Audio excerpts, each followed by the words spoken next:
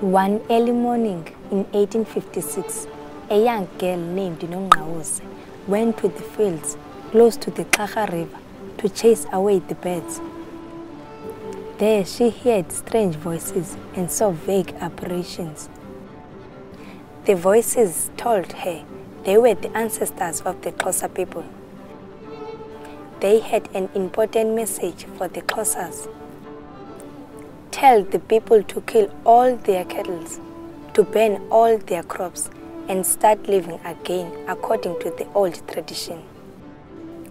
When the day will come, the special day, two suns will come up and the dead will arise. The Xhosas will be as strong as before. The white men, the false prophets, and the unbelievers will be driven into the sea. After the Xhosas had killed almost all their cattle and burned their grain, the great day came. The people waited until daybreak for the two suns to rise. They waited and waited. Nothing happened. The sun came up as usual, a normal summer day in February.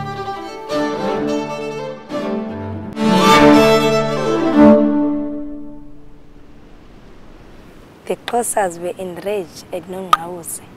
The British government arrested her and imprisoned her on Robben Island.